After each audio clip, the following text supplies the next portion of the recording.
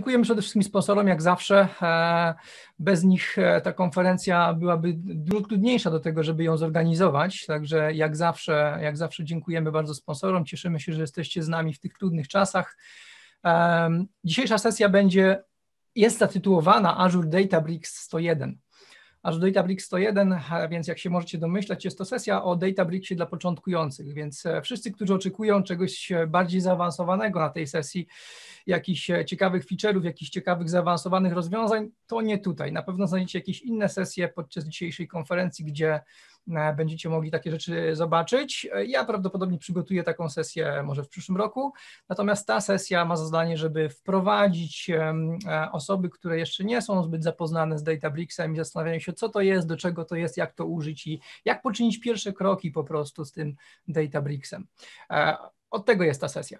Ja nazywam się Kamil Nowiński, jestem Microsoft Data Platform MVP od e, kilku lat, speakerem e, na wielu różnych, głównie europejskich konferencjach. No, ten czas pandemiczny tutaj w tej chwili trochę nas blokuje.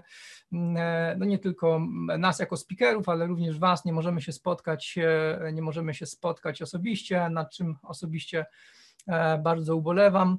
E, możecie mnie również spotkać na, e, na blogu sqlplayer.net, o nim, za, o nim parę słów za chwilę. Jestem entuzjastą danych i pracuję w firmie Altius Data z siedzibą w Londynie jako Principal Microsoft Consultant, czyli moją rolą jest pomaganie moim zespołom. Pracuję w kilku różnych projektach, w zasadzie w jednym takim większym programie dla jednego klient, z klientów E, no i po prostu pomagam zespołom e, dotrzeć e, czy osiągnąć te cele, które zakładamy sobie, projektując i, i, i dewelopując różne, różnego rodzaju rozwiązania naokoło danych. Używamy tylko Azura w tych naszych projektach, więc to cieszy z punktu widzenia technologicznego prawie lub ponad 20 lat doświadczenia. Zaczynałem SQL Serverem 2000 jako deweloper. Pracowałem też jako BI developer, czasami e, zdarzyło się wykonywać obowiązki jakiegoś tam DBA, ale trochę mniej. Wciąż jestem e, członkiem Data Community Poland. E, bardzo się cieszę zawsze, gdy mogę przyjechać na konferencję do Polski, spotkać się z przyjaciółmi, spotkać się z Wami, prezentując sesję. No mówię, niestety w tym roku to się tak nie udało. Dobrze, to może tyle z tej perspektywy. Tak jak powiedziałam, możecie mnie spotkać też na SQL Player blog, na SQL player.net to jest blog, który, na którym piszę, e, więc e, tam możecie znaleźć e, techniczne posty skierowane do ludzi o różnym, o, o różnym poziomie skill czy doświadczenia, różne, czy to rekomendowane książki, jeśli chodzi o SQL Server, czy, czy jakieś przydatne linki, jakieś ściągawki, które pozwalają, pozwolą Wam szybciej się nauczyć jakichś tam technologii, czy to, czy to, będzie, czy to będzie Python, czy to będzie PowerShell, czy to będzie SQL, czy, czy jeszcze inne rzeczy. Także e, w ten sposób możecie się ze mną skontaktować. Są tam też e, podcasty, o których zawsze staram się też powiedzieć dwa słowa. Podcasty prezentowane jako, jako audio oczywiście, ale również jako, mm, jako transkrypcje.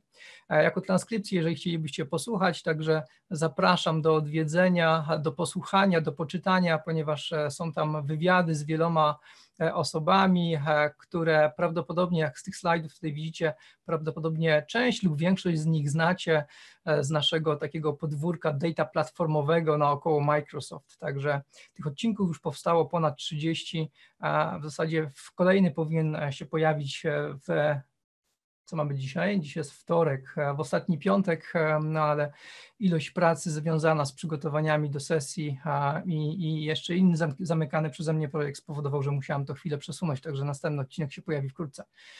Dobrze, to tyle. E, tutaj jeszcze dwa słowa. Możecie mnie znaleźć również na kanale YouTube, który wystartował rok temu. A także tam kilka filmów też odnośnie Azure Data Factory, czy odnośnie SSDT, czyli zarządzania projektem bazdanowym. A w, e, w, w projektem bazdanowym e, bazy Microsoft SQL Server a wszystkie slajdy e, i cała ta prezentacja, którą teraz widzicie, którą teraz oglądacie, będzie dostępna na moim publicznym GitHubie. Zresztą na GitHubie jest kilka innych projektów też, gdybyście byli zainteresowani. Aplikacja SCD Merge Wizard. Wszystkie oczywiście są open source'owe, publiczne, darmowe. Także zachęcam SCD Wizard, jeżeli pracujecie z hurtowniami danych i generujecie statementy czy, czy, czy komendy merge dla SQL Servera w TCQL, to ta, ta aplikacja pomoże Wam e, zdefiniować, zmapować reguły biznesowe i wygenerować takiego merge'a, e, wspierając slowly changing dimension różnych typów 1, 2, 4 i tak dalej. Data Script Writer bardzo prosta, ale użyteczna aplikacja pozwalająca zeskryptować dane bezpośrednio z bazy SQL Server do skryptu, zamykając to w procedurę składowaną i w ten sposób bardzo łatwo można taki skrypt dołączyć e, na przykład w post deployment do SSDT, do projektu SSDT i w ten sposób e, wypełnić dane jakieś słownikowe, jakieś master data, e, static data i tak dalej, i tak dalej. I ostatnie dwa projekty, o których też powiem dwa zdania, to jest Azure Data Factory Tools i DevOps. E, są to projekty, które powstały w połowie tego roku. Pierwszy z nich to jest moduł PowerShellowy, który pozwala opublikować e, cały Data Factory bezpośrednio z kodu, z plików JSON do serwisu, a drugi to jest DevOps, to jest rozszerzenie tak naprawdę do Visual Studio, e, przepraszam, do, do Azure DevOps jako task, jako extension do release pipeline'ów i tak naprawdę używa pod spodem tego PowerShellowego modułu też do deploymentu w bardzo prosty sposób, jako jeden task, gdy go skonfigurujemy, możemy opublikować cały Azure Data Factory właśnie do serwisu, do Azura, do naszej chmury. To chyba tyle. Przejdźmy do tematu właściwego. Nie wystartowałam sobie tu czasu, e, ile już minęło. A sobie spojrzę, dobrze, minęło jakieś 7 minut, także będę musiał tutaj odjąć. Dobra. Azure Databricks, czyli właściwy temat dzisiejszej sesji. Czym jest tak naprawdę Azure Databricks? Databricks sam w sobie jest to e, osobny produkt, osobna firma. E, Databricks został zaprojektowany we współpracy ze, z założycielami e, Apache Spark, także o Apache Sparku będziemy też jeszcze na kilku następnych slajdach mówili. I tak naprawdę Azure Databricks to jest właśnie połączenie tego Databricks, tego produktu i tego, co najlepsze w produktach Microsoftu, w serwisach Microsoftu, czyli tutaj mówimy o tak naprawdę całej, e, wszystkich serwisach e, znajdujących się w chmurze, w Azurze. Czyli jest to platforma analityczna, właśnie zoptymalizowana pod Azure, ale bazująca właśnie na Apache Sparku. Bardzo prosta konfiguracja, zresztą zobaczycie to za chwilę, usprawnione przepływy pracy i to też co ważne, bo oczywiście tych zalet jest tam wiele, ja nie będę się na nich wszystkich skupiał, Natomiast e, też co ważne i warto, o czym warto wspomnieć, to interaktywna przestrzeń robocza, która umożliwia współpracę e, między analitykami danych, między inżynierami danych e, i analitykami biznesowymi. Bardzo prosta, bardzo wygodna sprawa. To coś tak, jakbyście pracowali z dokumentem Excelowym czy Wordowym, znajdującym się gdzieś tam albo na SharePointie, albo w Office 365 i jednocześnie kilka osób może ten sam dokument edytować. Tutaj jest ta sama zasada. No nie jest to najważniejsza może zaleta, ale e, całkiem e, fajnie, gdy rzeczywiście coś budujemy i dopiero testujemy, może tworzymy jakiś proof of concept, e, pracować w zespole, dzielić się tym kodem. Natywna integracja z usługami Azure Services, czyli to, co powiedziałam, to naj, naj, naj, najcenniejsze rzeczy z, wyciągnięte z Microsoftu i zintegrowane bezpośrednio w cloudzie. Mam tu na myśli Power BI, SQL Data Warehouse, coś, co się nazywa w tej chwili Azure Synapse, E, oraz Cosmos DB, Blob Storage i wiele, wiele innych.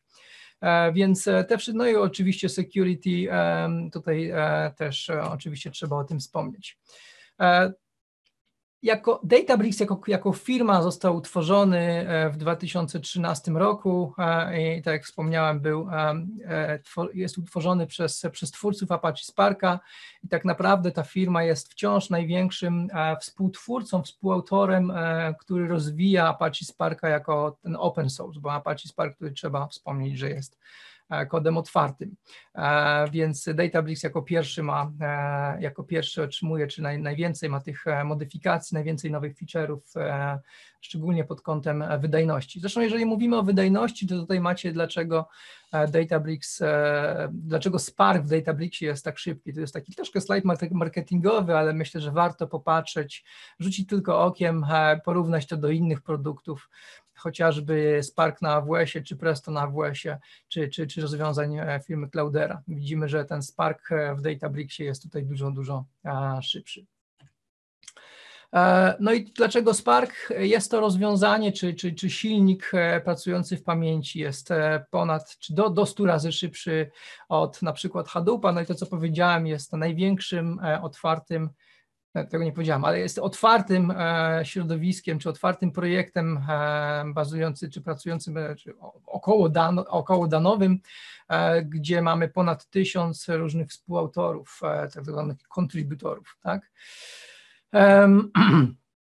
Apache Spark, tutaj też warto wspomnieć o tym, że, że mamy możliwość e, używania wielu różnych języków, e, czy to, czy to Scala, czy to Python, czy to R, e, czy to Java i możemy przetwarzać, tak naprawdę Spark unifikuje, ujednolica pozwala dostarczyć nam rozproszony silnik typu open source do przetwarzania danych na dużą skalę i możemy to robić e, w, e, używając różnych e, tutaj podejść. Możemy przetwarzać dane batchowo, możemy przetwarzać dane w trybie real-time, czyli streamingowym. Mamy to, jak powiedziałam, Interactive SQL, E, i możemy też e, zaadoptować machine learning, modele, e, deep learning i tak dalej, i tak dalej. Także to wszystko jest zunifikowane właśnie pod jednym wspólnym Apache Sparkiem i to wszystko widzimy właśnie jako produkt Azure Data Bricks. Przechodzimy dalej, tu jeszcze jeden slajd o tym, jak już powiedziałam, współpraca Data Engineer, Scientist i Business Analyst.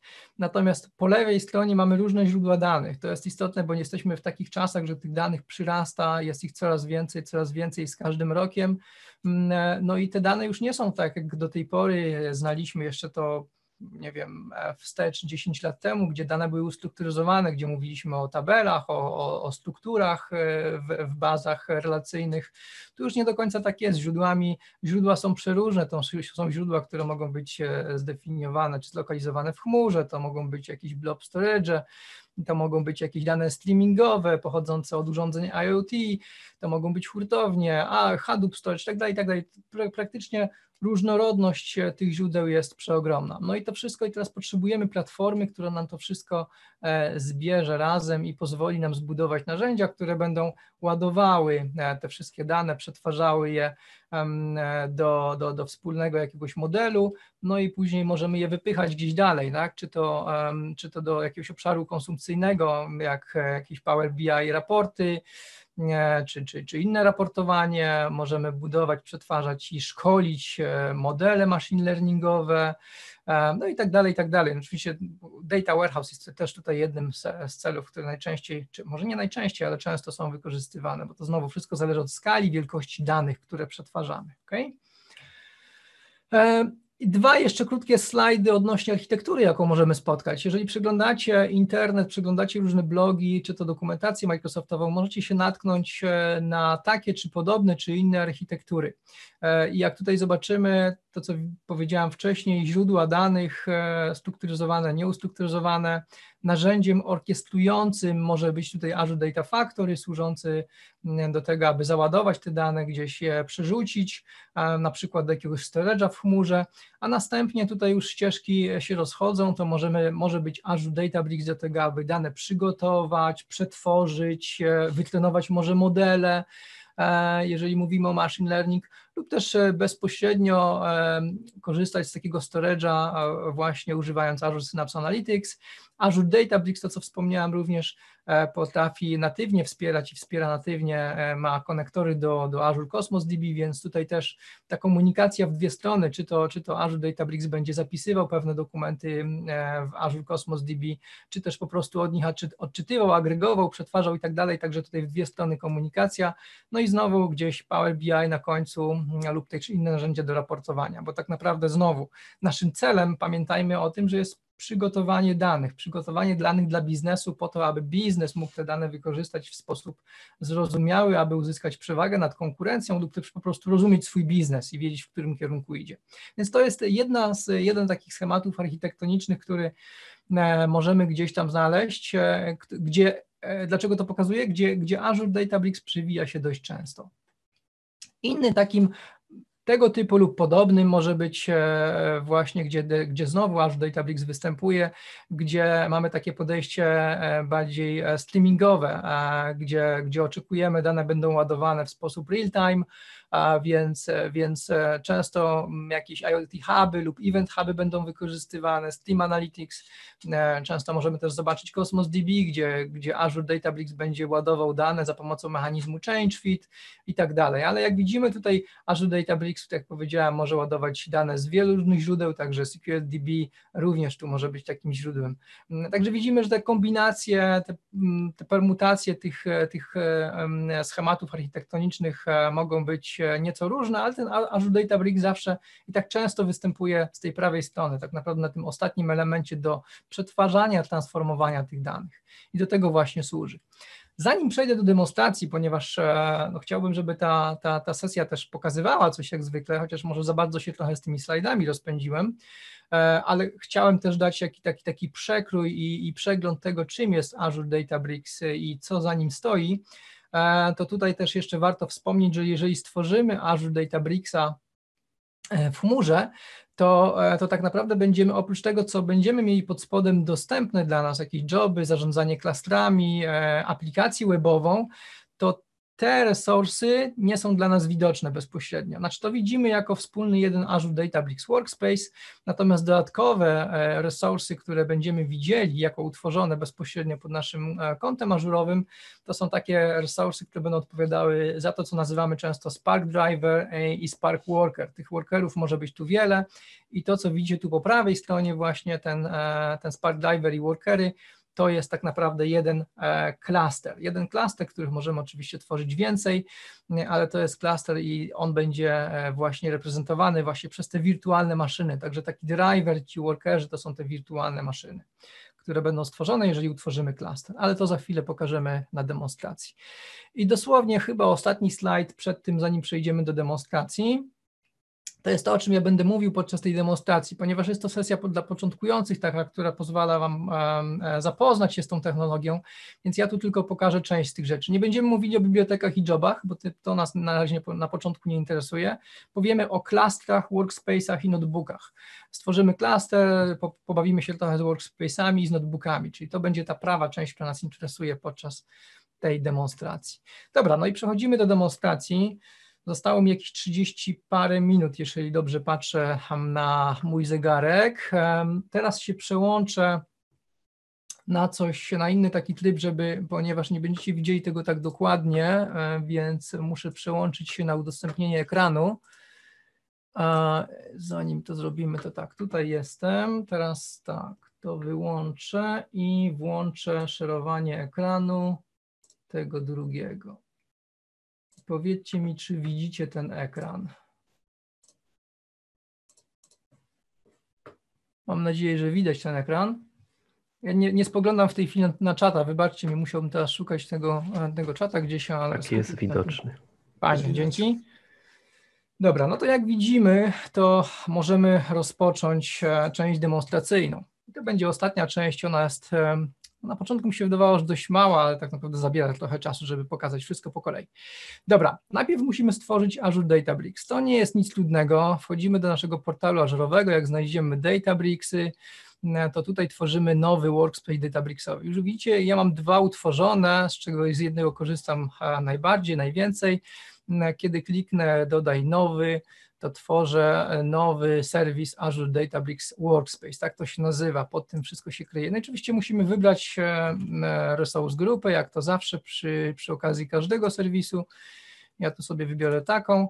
No i teraz, e, no nie wiem, Databricks, e, cokolwiek tutaj wpiszemy, tak, nazwę musimy nadać oczywiście, wybrać region, wybrać region, możemy od niedawna chyba przefiltrować, no i tutaj wybieramy pricing tier. W zależności od tego, co potrzebujemy, nawet jest tu dostępna wersja trial, także nie macie tu wymówki, że nie macie subskrypcji, że nie macie pieniążków na koncie czy coś, po prostu 14 dni za darmo można używać wersji trial, która jest tak naprawdę wersją e, premium, posiadającą wszystkie możliwości.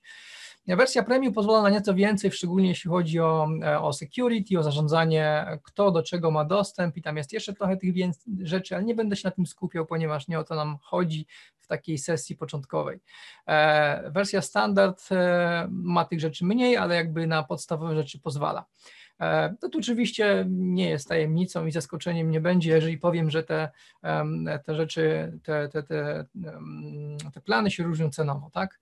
Więc e, jeżeli już sobie wybierzemy, to możemy e, przejść do następnego kroku. Networking możemy zdefiniować i zdefiniować swój własny VNet, aby zamknąć Azure Databricks dostępny tylko do tego VNetu.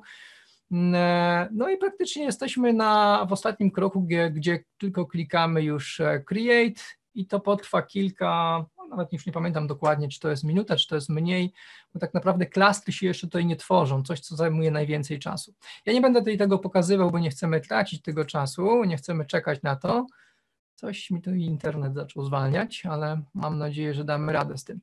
E, ja już tutaj mam, jak widzicie, e, workspace utworzony, więc jeżeli sobie wejdę, kliknę taki Azure Databricks Workspace, to oj, ten zoom mi tak maszynę spowalnia znacząco w momencie, kiedy udostępniłem ekran, to zobaczymy, że tak naprawdę głównym, e, głównym przyciskiem, który musimy tu kliknąć jest Launch Workspace. Tutaj widzicie, mamy też linki do różnych dokumentacji, pomocy i tak dalej, które Microsoft nam oferuje, aby e, wejść w tą technologię e, dużo szybciej i łatwiej. Zresztą dużo jest różnych materiałów, jeżeli chcecie się pouczyć o Azure Databricks, zachęcam, będzie na końcu slajd z resursami. No dobra, jak już e, otworzyłem, jak już kliknąłem w ten przycisk, to ja tutaj, czy ja to mogę przesunąć? Mogę, przesunę to tutaj. Mam nadzieję, że ciągle widzicie ten sam ekran to, to, to lądujemy na stronie takiej landingowej, gdzie widzimy podstawowe informacje. E, mamy tutaj e, podstawowe takie często używane taski, ostatnio używane notebooki w głównej części ekranu oraz, no zobaczę czy mam zooma uruchomionego, nie, to szybko to uruchomię. Mhm. Tak. E, ostatnio używam notebooki, tutaj linki do dokumentacji, możemy utworzyć, to jest duży przycisk, możemy utworzyć nowy, pusty notebook, zaimportować dane, eksplorować dane i tak dalej, i tak dalej. Także podstawowe narzędzia tu mamy, a oprócz tego cała rzecz rozgrywa się tu z prawej strony. Z prawej strony mamy właśnie ten landing page, mamy home, mamy workspace'y, mamy ostatnio używane notebooki, mamy dane, jeżeli chcemy przeglądać i zobaczyć, e, co się dzieje, jakie mamy bazy danych tutaj e, pod, e, pod, pod Azure Sparkiem i jakiego mamy rodzaju klastry. I teraz o klastrach na początku będę chciał powiedzieć dosłownie parę minut, ponieważ na początku, jeżeli chcemy tworzyć kod, no to nie ma problemu, możemy pracować z kodem i budować sobie, tworzyć sobie na przykład, um, utworzyć nowy pusty notebook, Zróbmy teraz jakiś taki bardzo prosty, nawet nie będę tłumaczył w tej chwili, co robimy jeszcze, ale możemy pisać kod, w każdym razie pusty notebook został utworzony, możemy pisać kod, nie potrzebujemy do tego klastra, nie potrzebujemy jeszcze za to płacić e, per uruchomione wirtualne maszyny, które pracują dla nas jako klaster. Natomiast jeżeli będziemy chcieli ten kod już uruchomić, e, czy przeglądać, podglądać jakieś dane, no to klaster jest do tego wymagany, ponieważ potrzebujemy jakiejś mocy obliczeniowej. No i teraz jak tworzymy nowy klaster, to dodajemy go za pomocą tego przycisku. No i co tutaj mamy? Musimy klaster jakoś sobie nazwać, więc to już jakby całkowicie zależy od nas, jak sobie ten klaster nazwiemy. No i tutaj mamy kilka rzeczy do, do wyboru, znaczy tryb tego klastra. High concurrency to jest, to jest coś, co też posiada pewne swoje ograniczenia lub, ale, ale jest e, często, często może być wymagane w przypadku rzeczywiście jakiegoś e, czy, czy potrzeby e, stworzenia mocno wydajnego klastra. Natomiast dość często wystarczy po prostu standard. Od niedawna, chyba od miesiąca, pojawiła się opcja single node. E, do tego zaraz wrócę. Najpierw omówię standard, ponieważ od tego musimy wyjść. Tu możemy też stworzyć pulę klastrów, ale tym się też nie będziemy przyjmowali, na razie zajmowali. Tutaj definiujemy wersję e, runtime'a Databricksowego. Domyślnie jest to ostatnia, ostatni LTS, natomiast możemy sobie wybrać dowolną inną wersję, która jest e, albo starsza, albo nowsza. Jak widzicie, tych wersji jest tutaj dużo więcej. Jeżeli mamy potrzebę, aby nasz klaster używał e, wirtualnych maszyn, e, jakby bardziej wydajnych z tego tytułu, że używamy GPU, to również taki, taką wersję tutaj mamy możliwość do wyboru. Najczęściej to się używa w scenariuszach właśnie ML. I to tyle. Wybieramy sobie tę wersję tego klastra. Widzimy, że Python 3 e, jest wspierany i tutaj warto wspomnieć o tych dwóch opcjach jeszcze. Pierwsza opcja to jest Enable Autoscaling, to do tego zaraz przejdę. Tutaj ona się wiąże z tym, co tutaj widzimy, czyli możemy dostosować, w zależności od tego, jaki jest ten nasz workload, jak joby pracują i czy one i czy Spark po prostu, czy, czy, czy, czy cluster wyczuje, że, że potrzebuje większej mocy obliczeniowej, większej ilości workerów, to taki autoscaling może być e, wykonany automatycznie. E, bez, bez naszej wiedzy, znaczy my się tylko zgadzamy, ile jest, jaka jest minimalna ilość workerów, jaka jest maksymalna ilość workerów. A oprócz tego, e, tak jak wspomniałem wcześniej, pokazywałem na slajdzie, każdy klaster musi mieć swojego drivera. E, to jest ten główny node, który zarządza e, pracą wszystkich innych nodów, czyli workerów. No i tutaj możemy mieć właśnie taką sytuację, że zawsze mamy tego jednego driver noda. Możemy też skonfigurować, jaka będzie wielkość tej maszyny.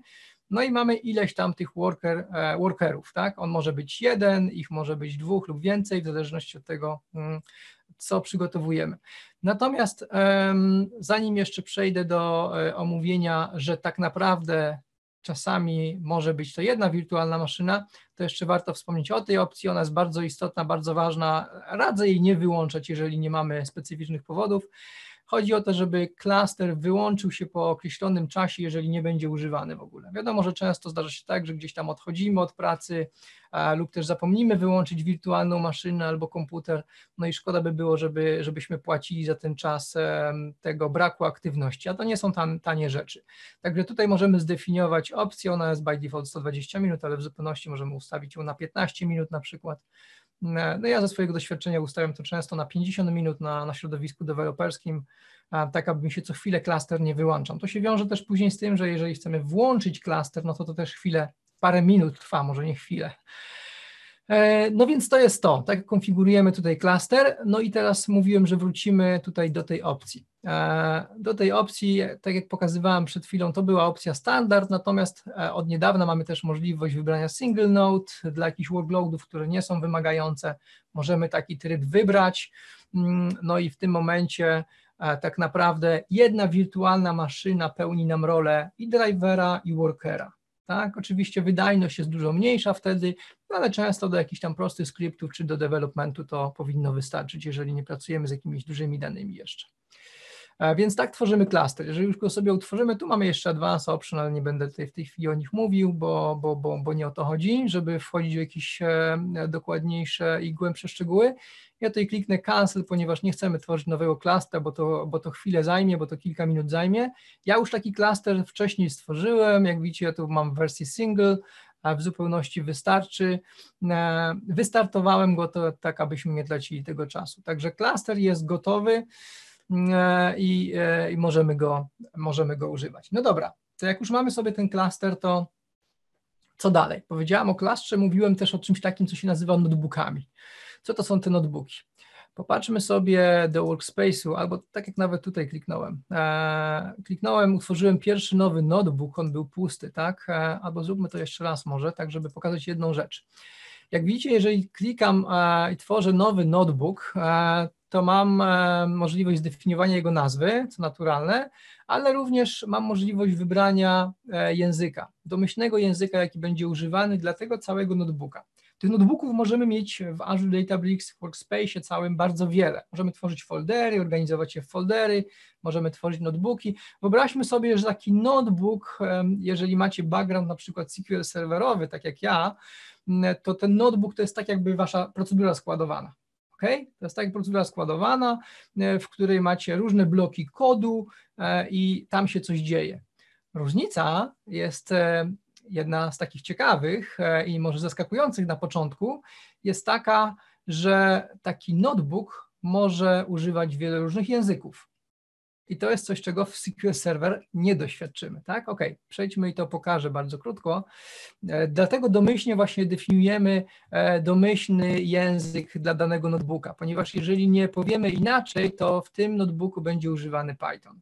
Tak, będzie używany Python, czyli jeżeli ja użyję tutaj Um, na przykład no, print akurat nie wiem, czy print pochodzi bardziej ze Sparka czy z Pythona, ale mogę sobie zrobić print hello world. E, muszę, żeby uruchomić tą komórkę, to, to znaczy tak, mam w tej chwili jedną tylko komórkę w tym całym moim notebooku, ale mogę ich stworzyć tutaj więcej. klikając ten znak plusa i, i mogę dodać kolejne,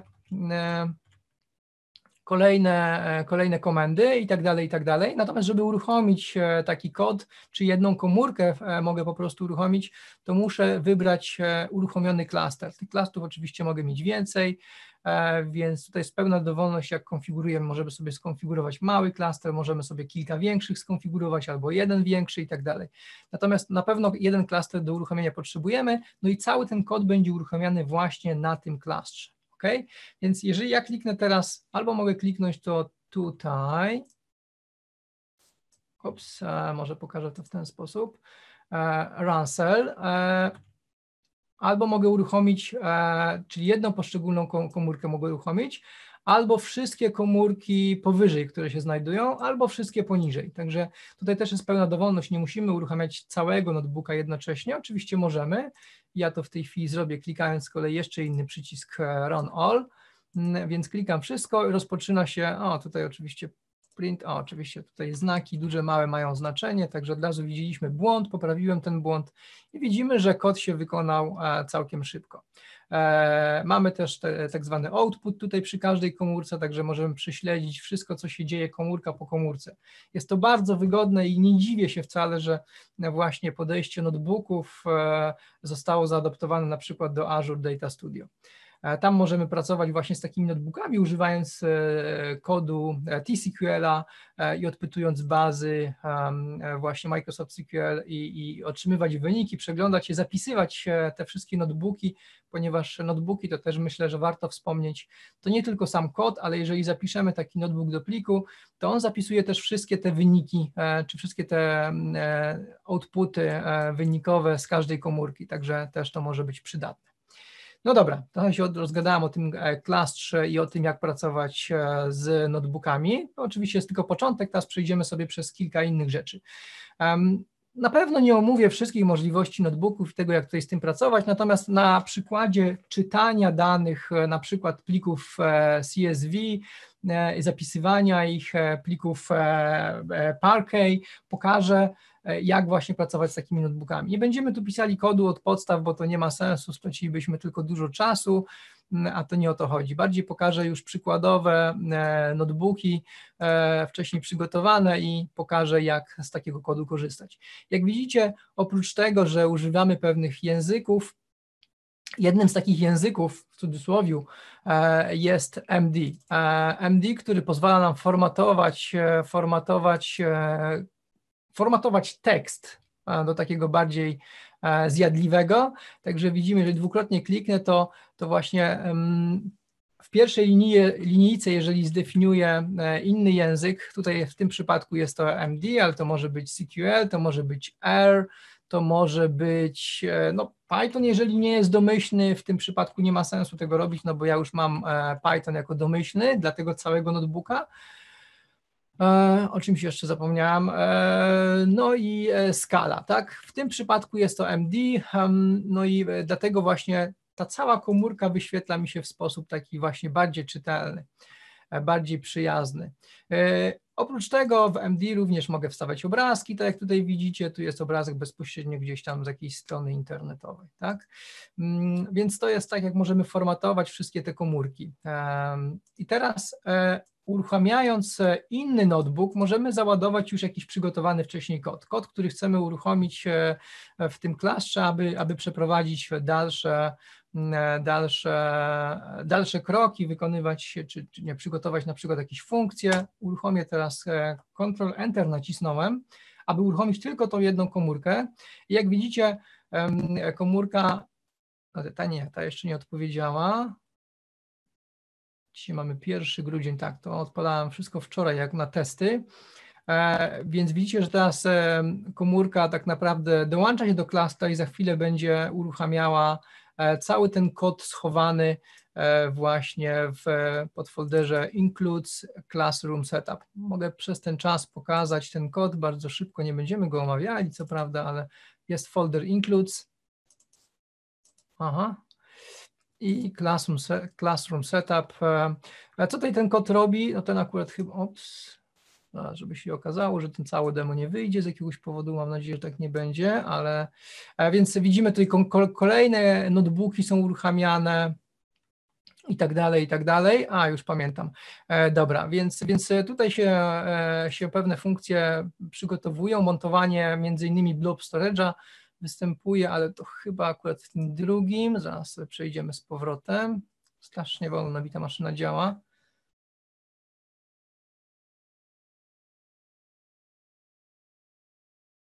Poważnie zwolniła, ale mam nadzieję, że sobie poradzimy z tym. Mm, OK, to się udało uruchomić, tu nie było tego błędu i teraz uruchamiamy jeszcze kolejny, kolejny notebook. Ten z kolei przygotowuje pewne funkcje, które będą używane w tym notebooku.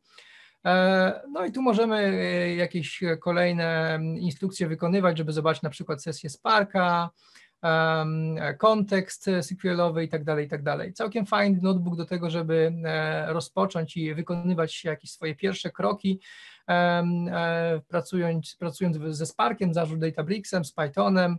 E, co tutaj jeszcze? Tu jest kilka linków do dokumentacji, ale e, jak klikniemy w latest, to zobaczymy rzeczywiście najnowszą wersję Spark, Sparka, która jest 3.0.1, natomiast na tym się nie będę też zatrzymywał.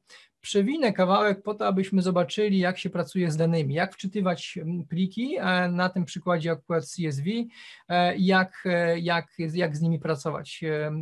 Ponieważ no, pliki CSV, jak wiemy, nie są jakieś tam, no może nie są skomplikowane, nie są też trywialne, jeśli chodzi o ładowanie i przetwarzanie, czy, czy, czy, czy, czy walidowanie danych, tak? Wiemy, że są E, że mogą być różne problemy z e, czy zachowywaniem stringów, kiedy one mają e, jakiś specyficzny format lub też dat, gdzie tych dat mamy po prostu na całym świecie różne, różne formaty.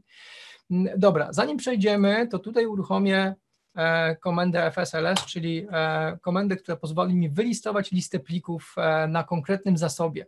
Na konkretnym zasobie tutaj w tym momencie to jest akurat zasób zamontowany, zasób wskazujący inny storage w Azure. E, w tym storage'u e, mam właśnie kilka plików, e, dwa pliki dokładnie, jest to packet i TSV, czyli plik CSV tylko z oddzieleniem kolumn za pomocą tabulatora.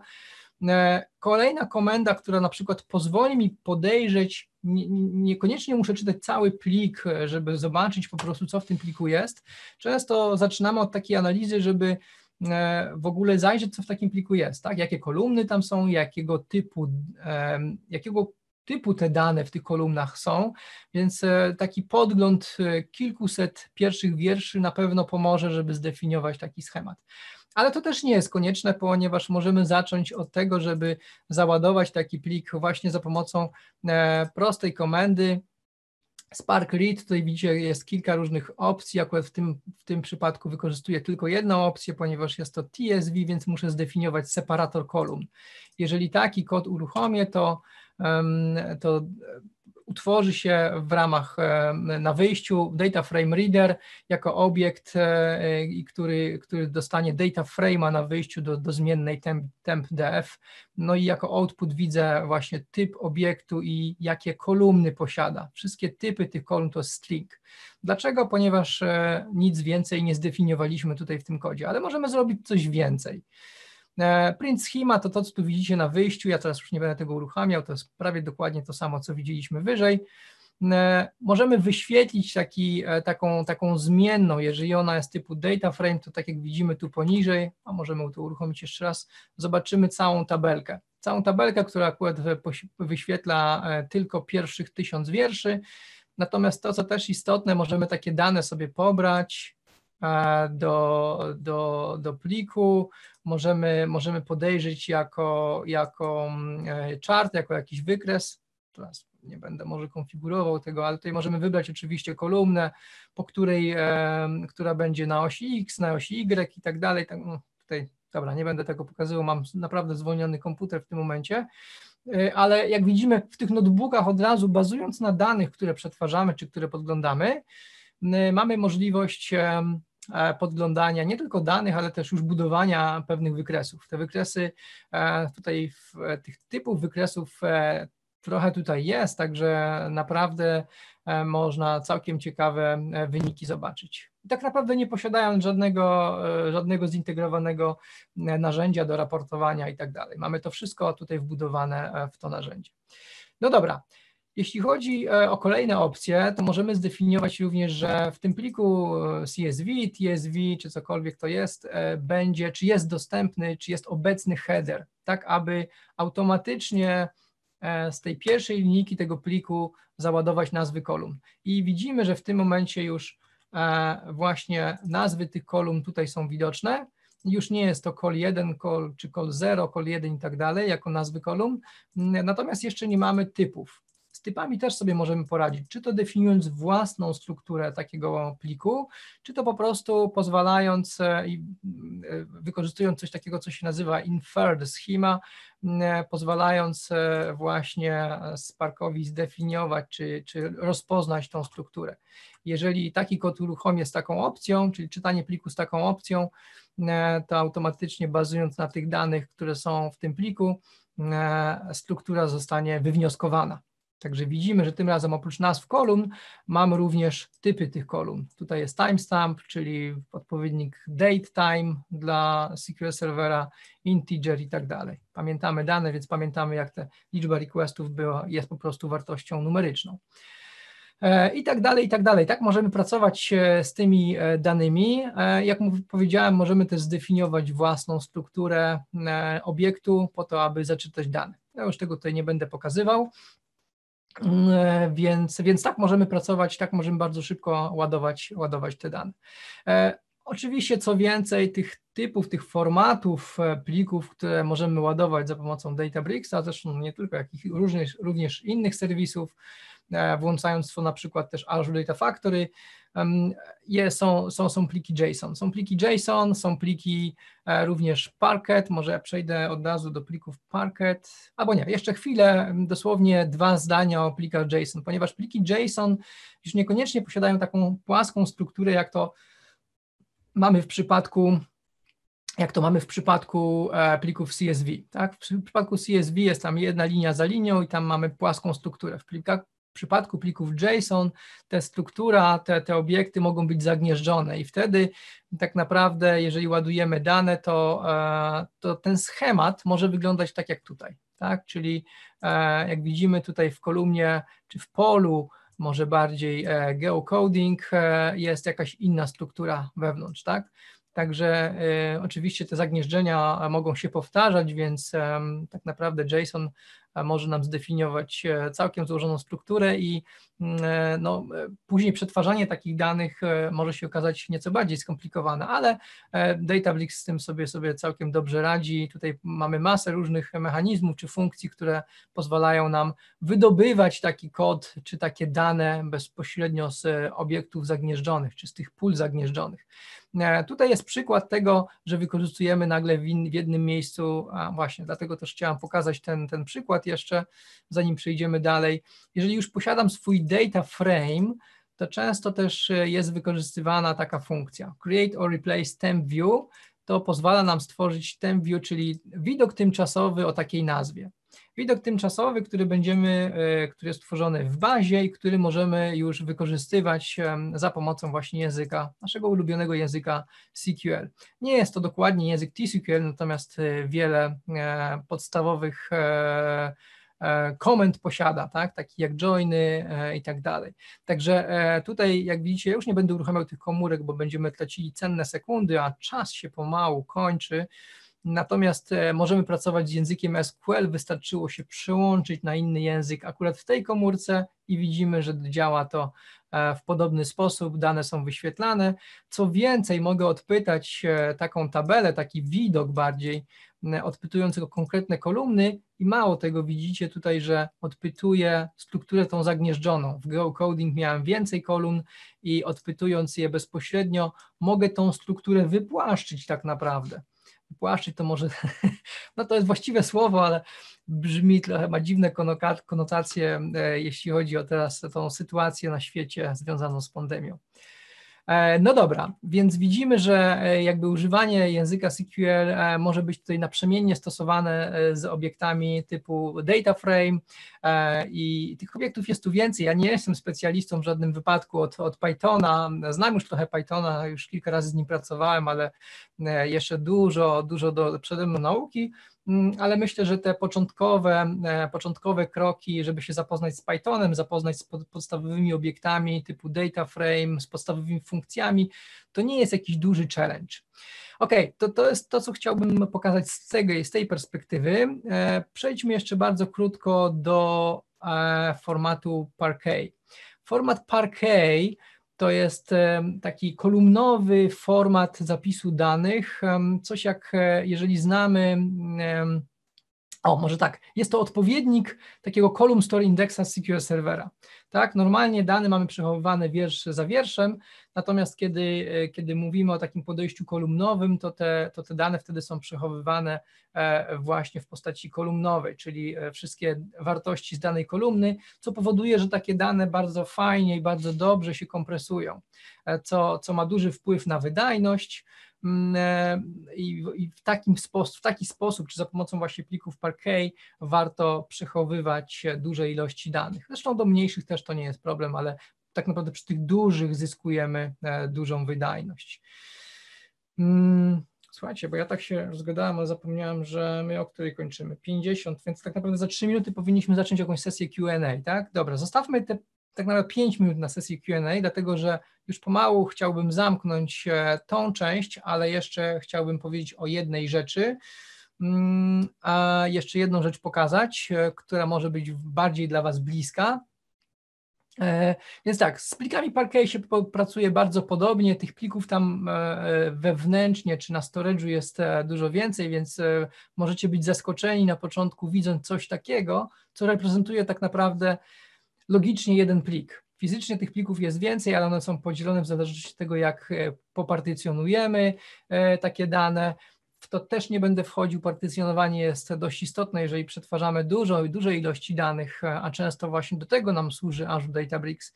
Mm, e, także tak te, tak te, te, te pliki są później reprezentowane. Jak widzicie, wczytywanie plików Parquet niespecjalnie się różni od e, pracy z plikami, czy to CSV, czy JSON, po prostu używamy e, innej komendy i, i, to, i, to, i to tak naprawdę tyle.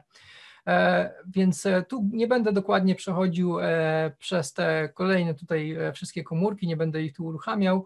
Mm, praca z danymi wygląda tak samo, tak? jeżeli już załadujemy dane, możemy po prostu później z tymi danymi pracować, transformować je, przekształcać, przygotowywać do, do formatu, jaki tak naprawdę oczekujemy, czy, czy, czy jakiego oczekuje od nas może biznes, tak? Mm, który chciałby później z tymi danymi pracować. Więc tak działamy na plikach no powiedziałam o CSV, powiedziałam o JSON, powiedziałam o Parquet. Nie zdążyłem powiedzieć o tabelach i widokach, znaczy wzięliśmy TempView e, jako jeden z takich podstawowych, e, jedna z takich podstawowych funkcji, którą prawdopodobnie często będziecie używać. E, zapisywanie danych odbywa się w bardzo podobny sposób, zamiast read używamy write i tyle definicje czy, czy, czy poszczególne opcje konfiguracji tych plików wyjściowych są bardzo podobne jak podczas czytania. No dobra, ale to, co chciałam jeszcze powiedzieć, to tak naprawdę o czym warto wiedzieć, e, jeżeli znacie Azure Data Factory, pracowaliście z Azure Data Factory, to warto tutaj wspomnieć, że właśnie takie notebooki, jeżeli przygotujemy, bo takie notebooki możemy używać sobie do pracy analitycznej na przykład, żeby przeglądać dane i tak dalej, ale możemy też przygotować jaką taką procedurę składowaną, jak w SQL Serverze, która będzie po prostu wykonywała pewne transformacje dla nas, tak? Wczytywała dane stąd, ładowała je tam, w międzyczasie transformowała, więc to wszystko jest do zrobienia, zapisane, do zapisania w takim notebooku Azure Databricksowym, a następnie taki notebook, czy więcej takich notebooków możemy uruchomić za pomocą Azure Data Factory.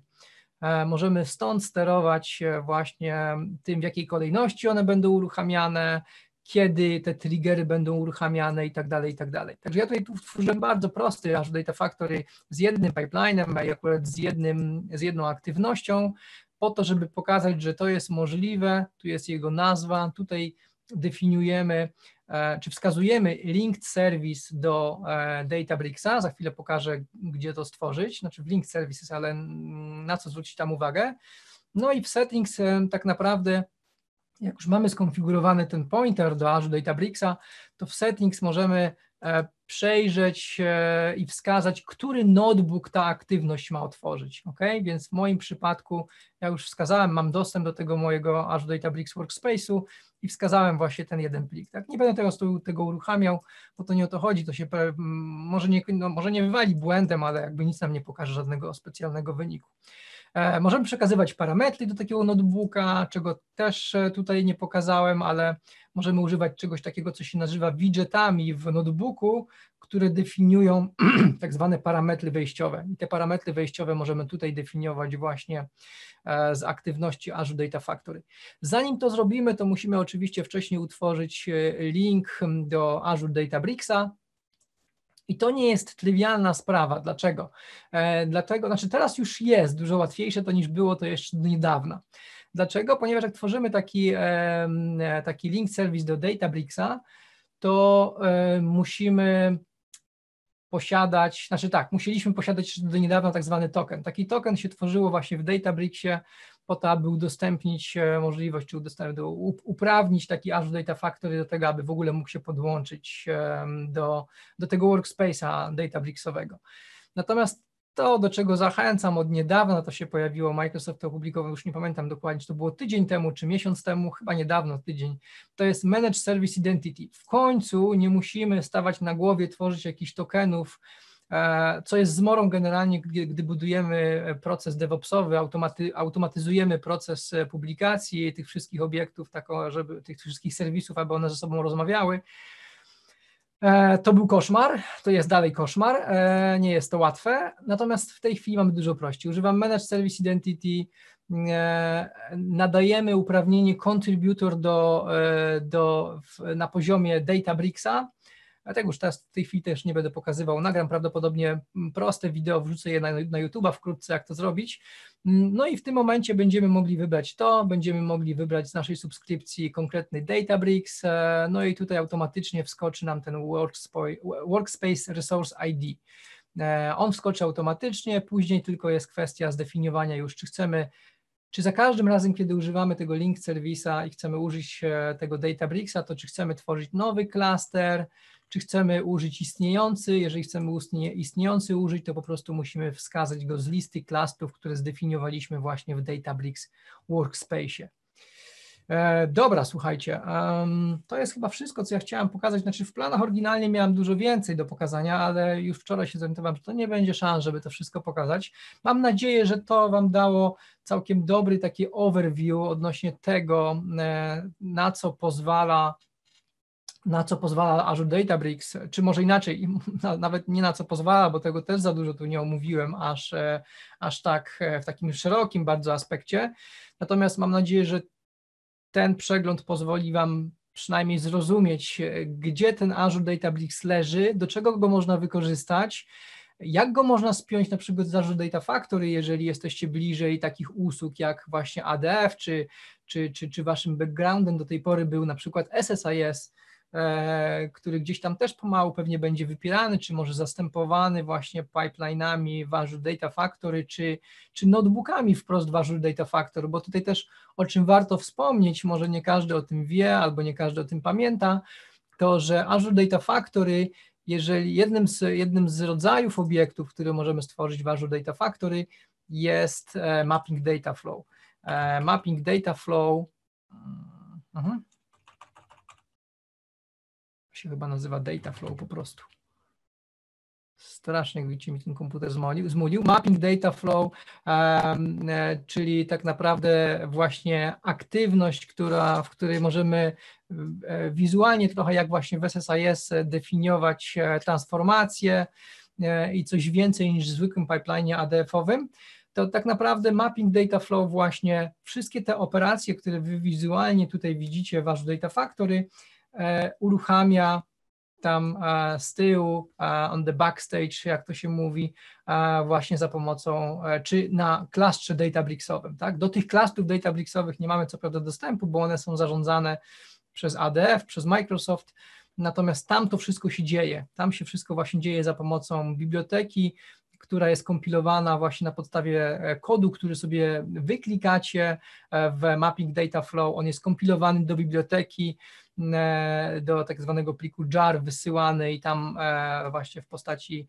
to jest wszystko zapisane w postaci języka Scala i tam jest na takim właśnie Databricksowym klastrze uruchamiane.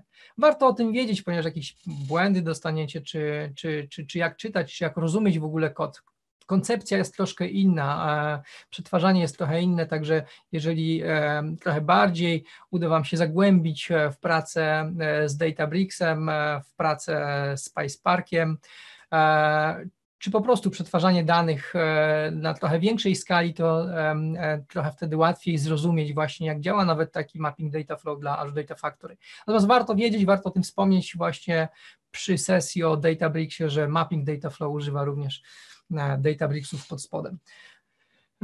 No dobrze. Myślę, że to wszystko z perspektywy demonstracji. Ja się jeszcze przełączę dosłownie na ostatni slajd, czy na ostatnie dwa slajdy. Delta Lake to jest coś, na co warto zwrócić uwagę, jak już zaczniemy na poważnie pracować e, z danymi w Databricksie i z, z plikami Parquet ponieważ znacząco ułatwiają e, pracę i zarządzanie tymi danymi, rozwiązują wiele problemów, e, takich jak wersjonowanie, jak time traveling, e, no, wiele różnych problemów z aktualizowaniem tych danych i tak naprawdę ten Delta Lake zbliża nas dużo bardziej, pracując wciąż na plikach, e, zbliża nas do tego, żeby to wszystko działało tak jak na standardowej, transakcyjnej, można powiedzieć, bazie danych, jak na przykład SQL Server, a wciąż mamy tą skalowalność, wciąż mamy wydajność e, e, big data, tak? Więc, więc warto na to również zwrócić uwagę.